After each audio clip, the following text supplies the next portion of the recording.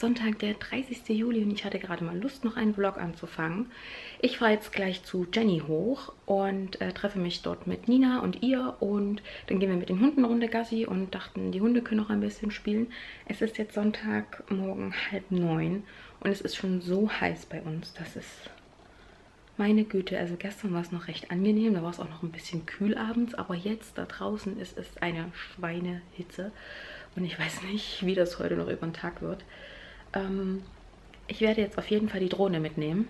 Ich hoffe und bete, dass ich bei Jenny jetzt irgendwie dazu komme, mal die Drohne auszupacken, anzuschmeißen und mal eine Runde zu fliegen, dass ich euch endlich ein paar Drohnenaufnahmen zeigen kann.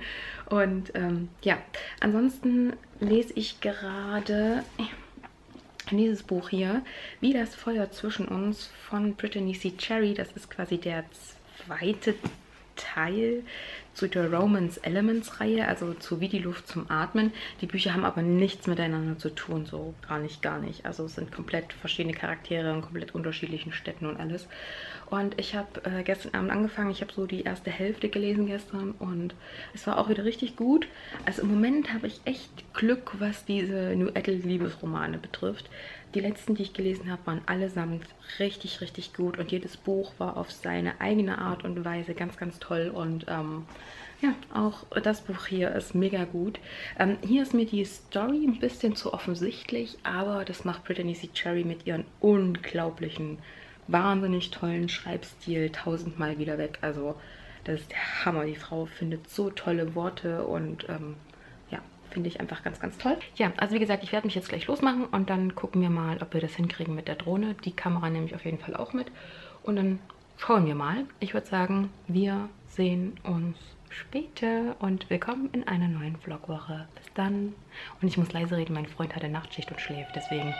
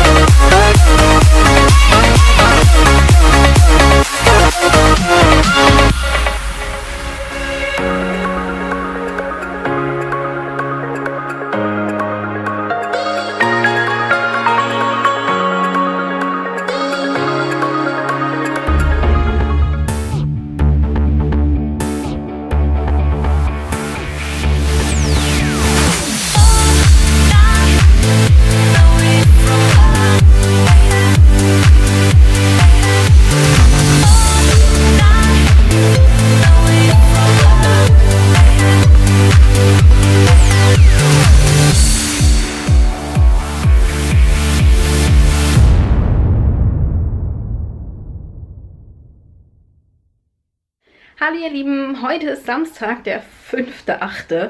Ich habe letzte Woche Sonntag, glaube ich, das letzte Mal mit euch gesprochen. Ich wollte voll anfangen mit dem Vloggen und war voll motiviert und dann passierte die ganze Woche einfach mal nichts. Ich hatte keine Lust zu lesen so richtig, ich hatte nur Arbeiten im Kopf und Haushalt und Familie und Hund und Freunde und ja, es ist einfach auch nichts irgendwie passiert bei mir, weswegen ich dann doch nicht gevloggt habe. Aber letzten Sonntag, das habt ihr ja gerade schon gesehen, da waren wir ja bei Jenny mit der Drohne und das hat voll viel Spaß gemacht. bis die Trude dann abgehauen ist. Das passiert mir hoffentlich nicht nochmal. Aber da, wie gesagt, die ganze Woche nicht wirklich viel bei mir passiert ist, habe ich halt die ganze Woche nicht gevloggt. Und jetzt gerade habe ich gedreht, weil ich für morgen noch kein Video habe und für nächste Woche Mittwoch noch kein Video habe und für nächste Woche Sonntag noch kein Video habe. Ähm, ja, habe ich jetzt gedreht schnell und zwar zweimal die letzten zwei gelesenen Bücher. Da musste ich auch echt mal hinten hinterher. Das, da war ich schon wieder so weit hinten dran. Und ähm, dann habe ich noch mein Neuzugänge-Video gedreht und das geht jetzt Sonntag, Mittwoch, Sonntag online. Und nächste Woche mache ich mir mal in Ruhe Gedanken darüber, was ich online stellen möchte und drehen möchte, denn ich habe jetzt zwei Wochen Urlaub. Wuhu. Deswegen dachte ich, ich setze den Vlog jetzt einfach fort heute, wo ich Urlaubsbeginn habe und ähm, ich will Montag meine Arbeitskollegin besuchen gehen, dann nehme ich euch auf jeden Fall mit und Mittwoch kommt die Mutti, mit der wollte ich auch noch was machen und dann habe ich da wenigstens so zwei, drei Sachen, wo ich auch mal was mache und nicht nur hier zu Hause bin und so. Jetzt muss ich aber erstmal wieder mein Chaos da drüben beseitigen, die Wäsche aufhängen, Betten beziehen und ähm, das mache ich jetzt mal und dann sprechen wir noch mal ganz kurz über das Buch, was ich heute beendet habe.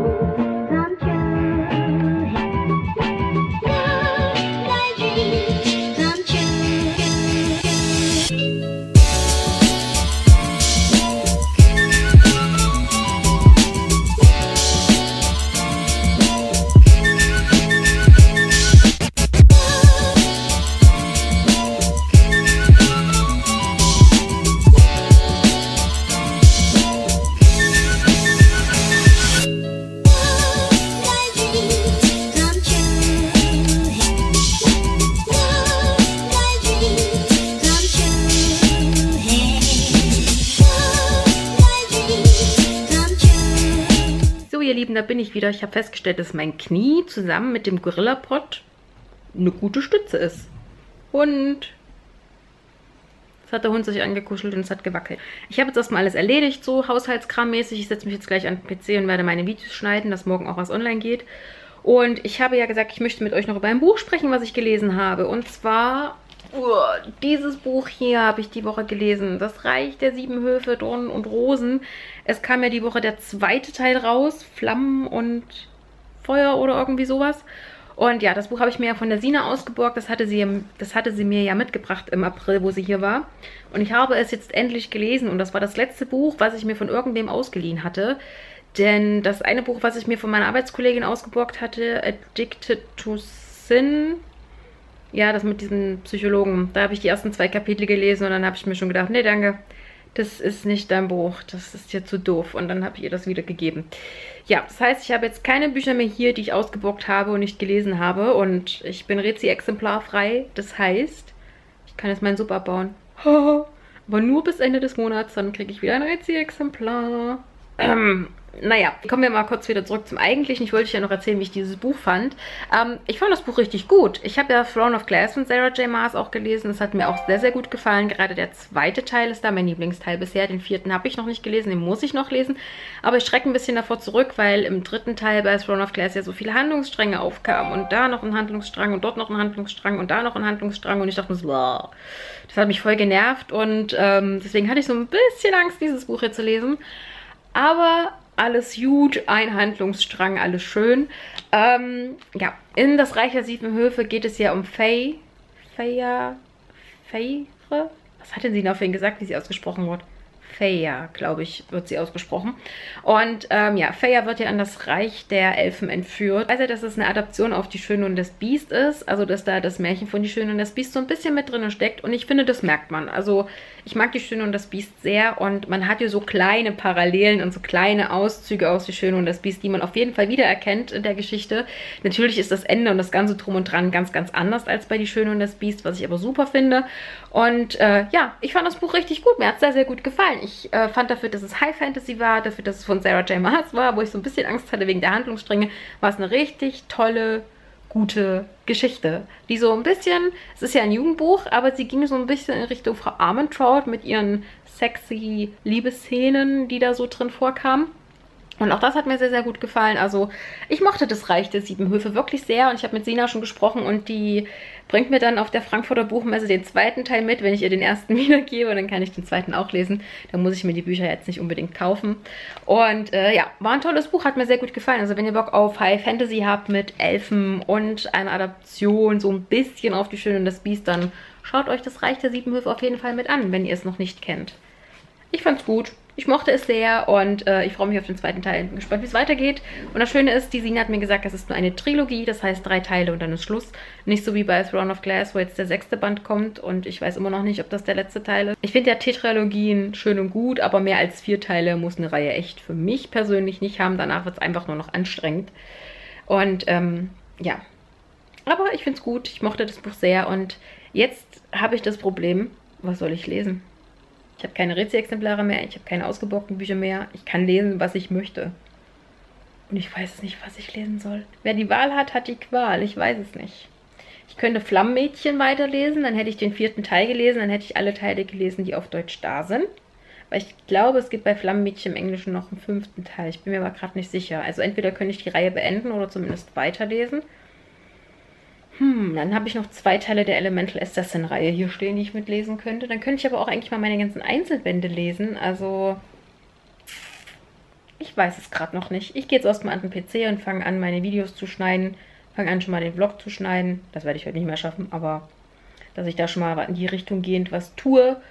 Und ich würde sagen, ich melde mich morgen wieder. Bis dann.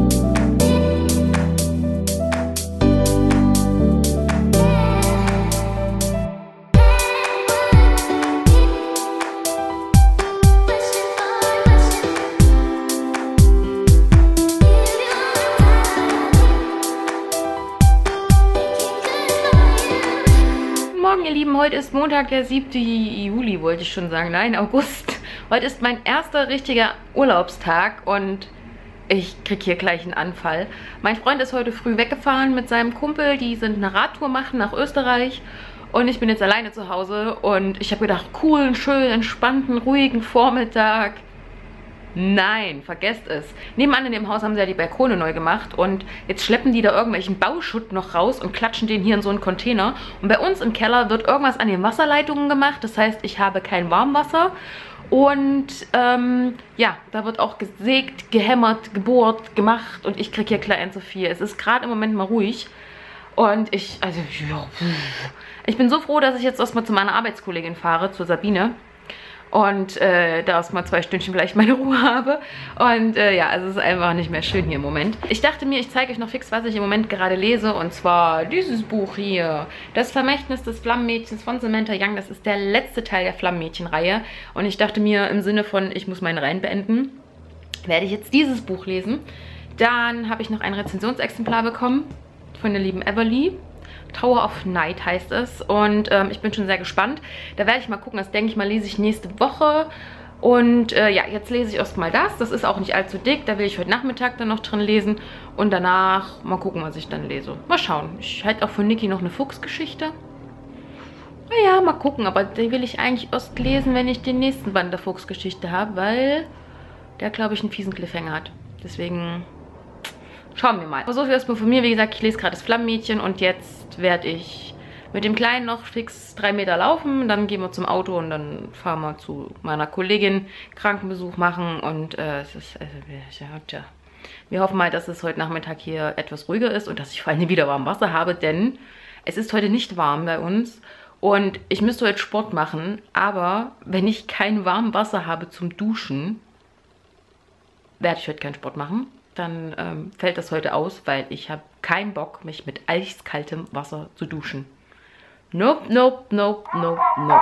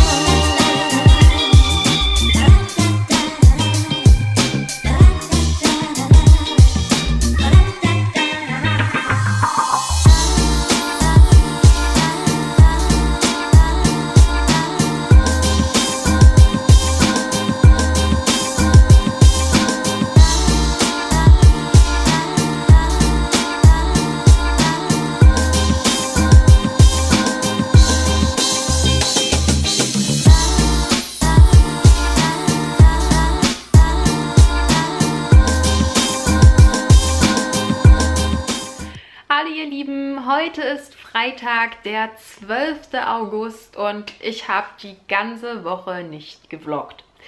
Ich wollte vloggen die ganze Woche, aber es ist einfach mal hier gar nichts passiert. Ich habe einfach mal nichts erlebt diese Woche und ich habe ja zwischendurch immer mal die Kamera mitgehabt, wenn ich irgendwo war und habe ein bisschen was gefilmt, das habt ihr ja gesehen. Aber ansonsten habe ich einfach mal nichts erlebt. Ich hatte eine Horrorwoche schlechthin. Ich hatte von Montag bis Donnerstagnachmittag kein warmes Wasser. Dienstag hatte ich gar kein Wasser mehr. Ähm, ich hatte Dienstag kein, kein Internet, kein Fernsehanschluss. Ich habe Dienstag hier gesessen, habe gedacht, ich bin in der Steinzeit gelandet. Also das war ein ganz schrecklicher Tag. Dann bin ich jeden Morgen um halb sieben oder um sieben von den Bauarbeitern geweckt worden, die hier bei uns unten das Wasser gemacht haben. Und ich sag euch, ich hatte eine Horrorwoche schlechthin.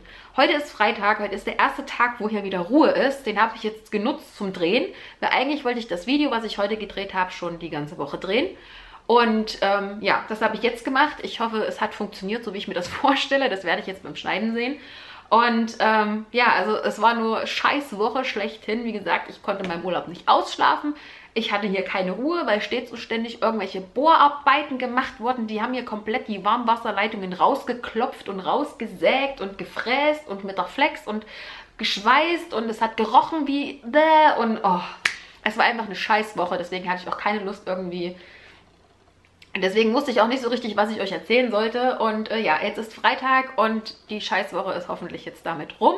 Ähm, ich habe natürlich auch gelesen. Ich hatte ja das Reich der Sieben Höfe gelesen, was ich ja beendet hatte. Das hatte ich euch aber, glaube ich, noch gesagt. Danach habe ich angefangen mit Game On, Chancenlos. Das habe ich gestern beendet. Das ist eine New Adult-Geschichte mit College-Footballern und auch der zweite Teil der Game On-Reihe hat mir wieder richtig gut gefallen. Ich mochte ihn sehr, aber ich finde, es war irgendwie, was den Charakter betrifft, also was ihn betrifft, das war mir zu einfach. Denn er war übelst der Aufreiser, hat sich jede Nacht eine andere ins Bett geholt und hat jede Nacht eine andere flachgelegt. Und dann lernt er sie kennen und von heute auf morgen hört er damit auf und wow, das war ein bisschen so, mh.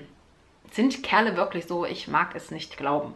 Naja, auf jeden Fall ähm, hat mich das als einziges ein bisschen gestört an der ganzen Sache, dass er so sofort so pang, er lernt sie kennen und sofort ist er ein anderer Mensch. Und das war so ein bisschen was, was das Ganze für mich ein bisschen fragwürdig und unglaubwürdig gemacht hat. Dann habe ich gestern angefangen, endlich mal ein Buch von meinem Sub zu lesen und zwar Queen of Clouds, die Wolkentürme von Susanne Jardom. Ähm, dieses Buch steht auch schon seit gut zwei Jahren bei mir rum. Ich habe die ersten 110 Seiten gelesen, also das Stück hier habe ich gestern gelesen. Und es ist definitiv ein Susanne Jardom Buch. Ich hatte ja letztes Jahr das Haus der Tausend Spiegel von ihr gelesen, ähm, was mich ja zum Ende hin sehr verwirrt hat. Und ich muss sagen, Susanne Jardom hat wirklich einen echt ausgefallenen Schreibstil. Also ich kann gar nicht sagen, was ihn so besonders macht, aber sie hat eine ganz eigene Ausdrucksweise. Sie formuliert ganz eigene Sätze, die man so auch nicht erwarten würde. Ähm, sie verwendet Metaphern auf jeden Fall auch sehr gern. Und äh, ja, ich äh, finde, es ist definitiv mal was anderes. Es ist ein bisschen anstrengender zu lesen auch. Aber ich mag die Geschichte bisher und ich bin gespannt, wie sich das Ganze entwickelt und worauf das Ganze jetzt hinausläuft. Und ähm, ja, mal schauen. Aber ich habe mir gedacht, ich muss endlich mal ein Buch von meinem Sub lesen und deswegen lese ich gerade Queen of Clouds, die Wolkentürme von Susanne Jadom.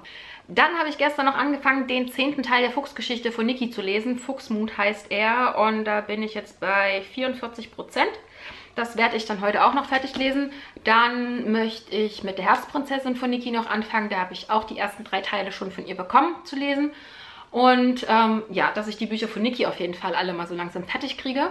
Niki hat mir auch heute geschrieben, dass sie gerade mit Fuchs 11 ähm, gute zwei Drittel hat und dass sie das heute noch beenden möchte und mir dann auch noch schickt. Das finde ich sehr gut, weil dann bin ich da dann auch gleich wieder up to date, dann kann ich das auch gleich noch mitlesen. Ansonsten habe ich noch ein Rezensionsexemplar von der Everly bekommen. Everly ist auch Self-Publisherin und von ihr habe ich Anfang des Jahres die Nachtfalter-Dilogie gelesen. Und das war ja eine Dilogie, wo es eine Dreiecksbeziehung gab, die ich so auch noch nicht gelesen hatte, von der Konstellation her und auch vom Ende her. Und äh, sie hat eine neue äh, Buchreihe rausgebracht, Tower of Nights heißt sie. Und ähm, da hat sie mir das Buch als Rezensionsexemplar äh, wieder zugeschickt, denn ich fand es sehr interessant und es ist auch kein Buch, was extrem lang ist. Es sind, glaube ich, so um die 200 Seiten, was die Geschichte hat. Und das möchte ich dann auf jeden Fall auch noch mitlesen.